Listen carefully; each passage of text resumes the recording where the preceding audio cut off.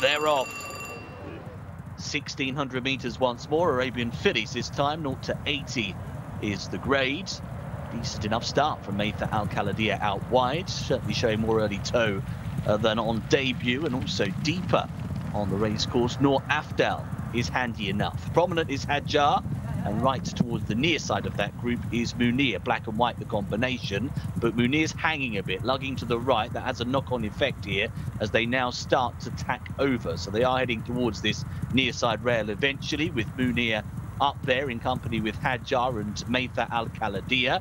Deeper on the racecourse is Noor Afdal, the blue and white silks, probably uh, just about second overall. Moon is not far off them. The dark blue and orange up the inside tries to creep forwards. Easter du Soleil is in that leading wave now.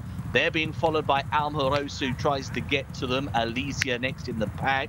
Light jacket of Kate Bar Al Khaladiya. Back through them is Ayat at this stage, also in the rear division, Jade du Carrière.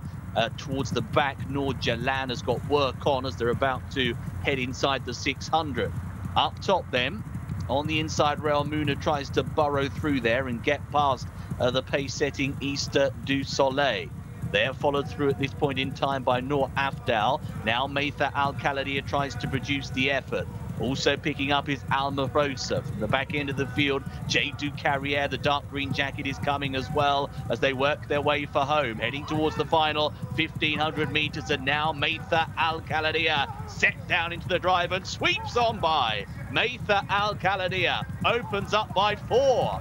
In second spot is Munir. Down to the inside is Muna. Oh, she's pretty good, you know. Maytha Al Khaladiya is going further and further away to remain unbeaten. Maytha Al Khaladiya, very impressive indeed. She could be a right old talent, couldn't she? That was taking. Got up there, got in behind the pace, a better break today. And then, when pulled out into the clear, striding further and further away. It's another winner